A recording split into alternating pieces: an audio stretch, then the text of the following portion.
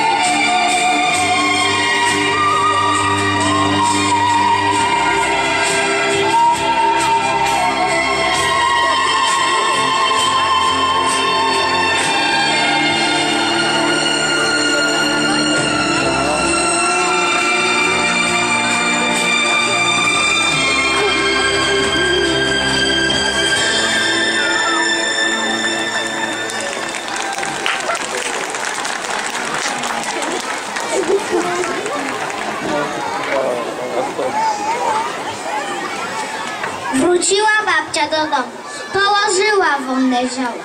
Szuka małej jarzębinki, biega, płacze. Głośno woła, usłyszały to motylki, co po łące fruwały. Babci o niedobrym wilku powiedziały, pocieszały jak umiały.